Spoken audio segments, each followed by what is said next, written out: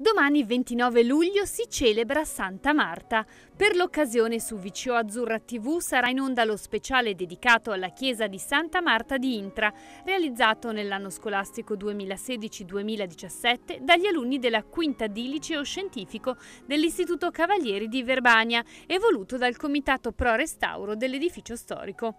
Obiettivo riportare alla conoscenza e alla coscienza delle persone la chiesa, così i ragazzi hanno intervistato chi quel luogo l'ha frequentato frequentato e vissuto in passato. Lo speciale sarà in onda domani sabato alle ore 11, alle 15.30 e alle 19. Intanto si sono conclusi i concerti Ciani Pro Restauro Santa Marta che da quattro anni portano a Verbania i migliori giovani pianisti italiani, in particolare grazie alla collaborazione con il Conservatorio di Imola Fucina di Talenti.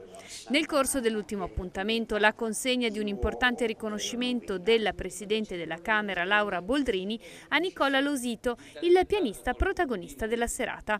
Un'onorificenza che ha premiato la bravura dell'artista ma ha anche dato lustro all'intera manifestazione. Nicola Lusito ha proposto al pubblico verbanese pezzi di Mozart, Schumann e Chopin. Nato a Udine nel 1995 è il più giovane solista ad aver inciso un CD per Amadeus e si è aggiudicato importanti concorsi nazionali ed internazionali.